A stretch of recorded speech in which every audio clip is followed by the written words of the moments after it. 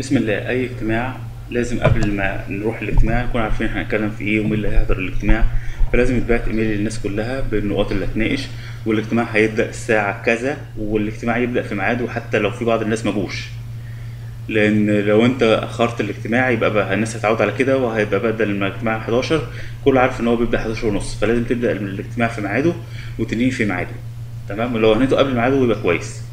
تمام؟ ومحدش يناقش أي موضوع غير المواضيع اللي إحنا جايين عشانها. لو عايز موضوع تاني خلاص هيعمل اجتماع تاني. لو أي حاجة فرعية اتناقش مع الشخص دوت بينكم أنتوا الاثنين إحنا لازم نقول إن اسم الاجتماع المكان هيبقى فين التاريخ هيبدأ من الساعة كام للساعة كام ونبدأ نقول مين الناس اللي هتحضر من شركات إيه والوظائف بتاعتهم إيه وممكن نكتب التليفونات والإيميلات لو حد عايز توصل معاهم.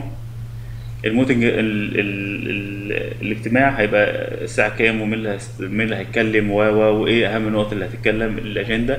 وبعد ما يخلص الاجتماع يتبعت إيميل بملخص للاجتماع. وإحنا اتفقنا على كذا كذا كذا كذا.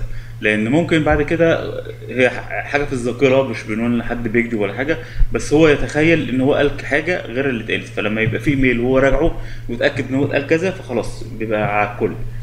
فبنكتب بقى ال project introduction بنتكلم على اسم المشروع و client ووصف المشروع وعدد الدقايق اللي هتناقش فيها وال progress وتواريخ التسليم.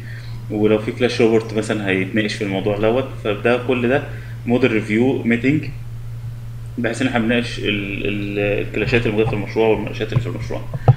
وبعد ما نخلص بنبعت إحنا اتفقنا مثلا نحل كذا كذا كذا كذا ملخص للمشروع.